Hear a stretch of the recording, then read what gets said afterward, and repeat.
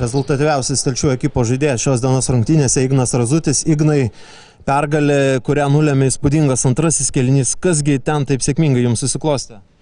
Tiesiog pavyko įgyvendinti, ką buvom susitarę, trenerių įgyvendinti nurodymus ir laisvai pataikėm savo metimus. Pavyko susikurti gerų progų.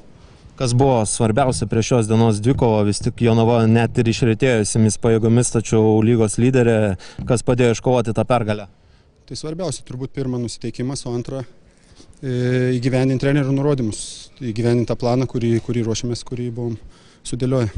Patys fiksuojat keturių pergalių išėlės seriją, panašu, kad po truputį pagaunat ritmą po visų tų savizolacijų.